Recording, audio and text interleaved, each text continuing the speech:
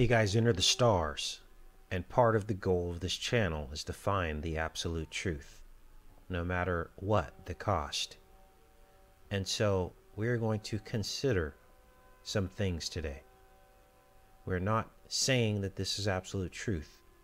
We're simply drawing connections so that we can decide what is, in fact, the truth. What you're looking at is a water droplet flattened on a flat firmament, a fixed surface. And as you can tell, the feeling inside of you is that this resonates on some carnal level of truth. Now, do not be afraid. I understand the possible deception of a flat earth but we have to at least consider these things because one thing is truth and that is is that we know something. We've seen the illuminati cards reveal certain things that have come to pass. Now certain words and terms come to mind when considering a flat earth such as through the looking glass, going over the edge and the glass ceiling. This is a panoramic view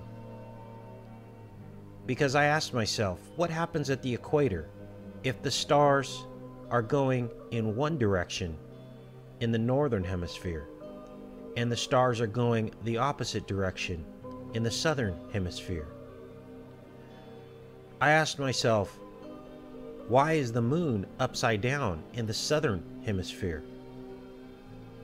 And then I thought about the term, the looking glass. And I realized that when you look through a glass, everything appears upside down. And I began to ask myself why the Illuminati shows us mirrors of everything, opposites to keep us confused. And I thought about why and how Satan tries to be like the Most High when I was considering these things. So I decided to go into Stellarium and take a look at the South Pole. And I thought about the water droplet and I thought about a sun that would circle the water droplet, and that Antarctica, if it was on the edge of this, would be furthest away from the sun, but that it would see the sun for 24 hours around the sun, and that the summer in Antarctica would be still pretty cold because Antarctica would be at the bottom edge of this and if people in Antarctica were looking up at the sky below the southern hemisphere, which would fall somewhere in here, that they might see things backwards looking through a looking glass, and that the moon would appear upside down, as it does here, based on their vantage point of where they were on this bubble. You see, You'll never arrive at truth by accepting what other people tell you. You only arrive at it by questioning everything you are ever told. And again, I'm not saying that this is for sure what is going on, but I'm just considering all things. So I thought to myself, if the sun is rotating above this bubble and we are on the surface of this bubble, why isn't Antarctica going to be burning up. And it is because the sun never goes to the center of this bubble. It perfectly could rotate around in this direction. So in the summer months of Antarctica, you'll see the sun never set, but it will never get too hot, but still warmer than Antarctica, which would be around the bottom of this bubble, because Antarctica still is further away from the sun. So, just like the UN model, the sun goes in tracks. During the summer, it's down here, near Antarctica, on this track. And then we get our winter here, because the sun is a little bit further away than it is in Antarctica on its ring. And the time zones occur around the edge as the sun moves away and around this bubble.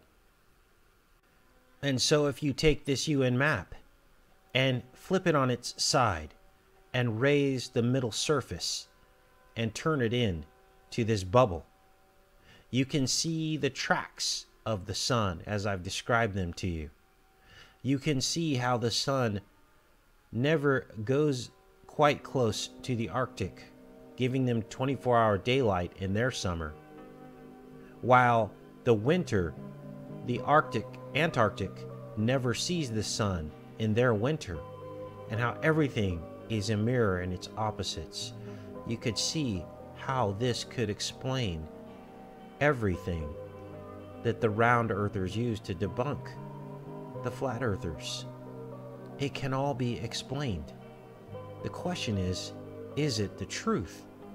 That is the question. Now, summer in Antarctica falls in January and February.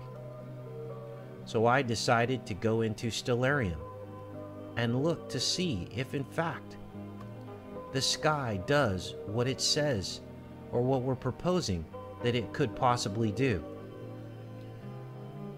Now, the caveat here is I will not put up with negative comments because we're looking into this, because we are simply looking into it.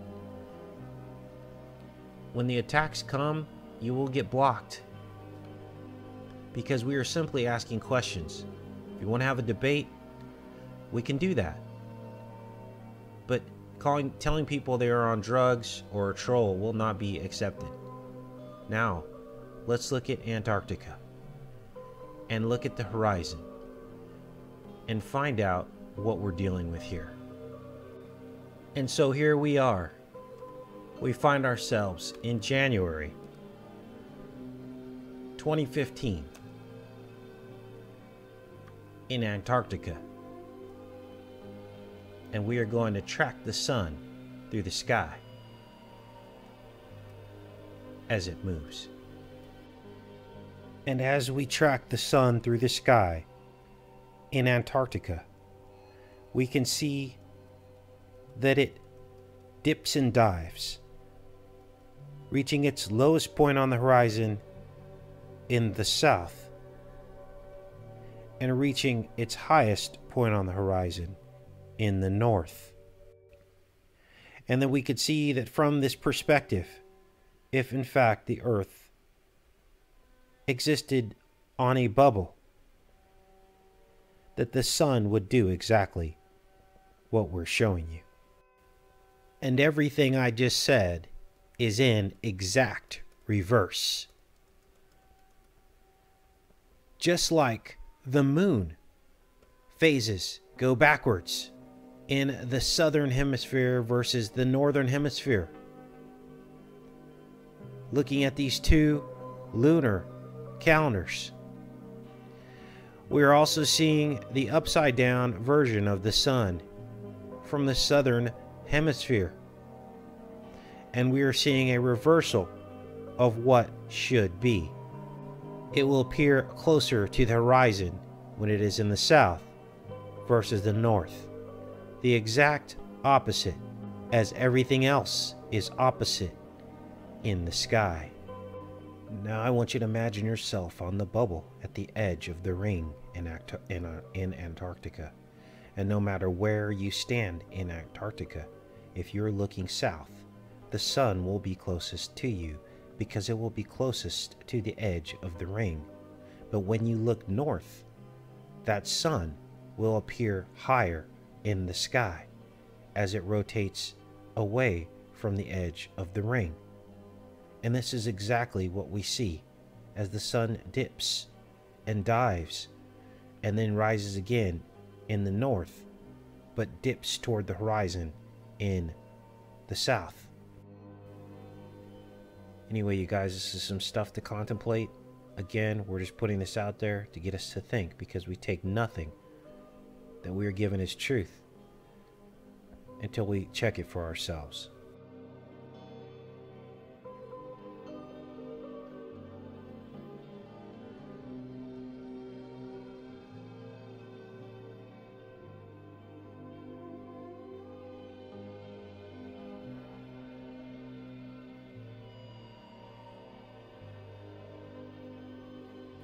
So then, when we consider the CERN globe of science and innovation, we see how the truth could be hiding in plain sight.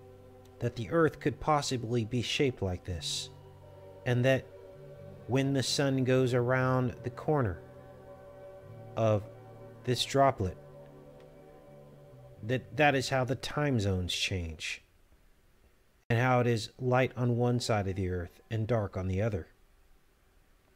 Should also explain how the widest track, being the one closest to this outer edge, provides the 24 hour daylight in January and February for Antarctica.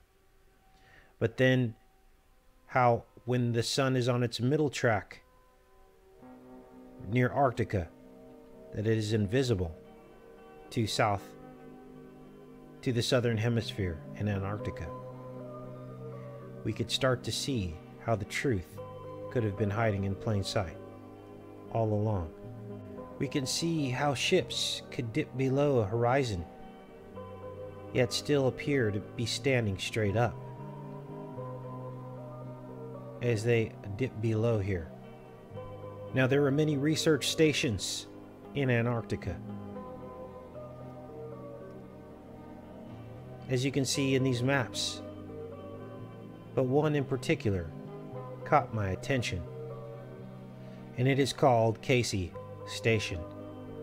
So I did a little research on why this is called Casey Station, and it's named after a man named Casey, and it was first occupied in 1988.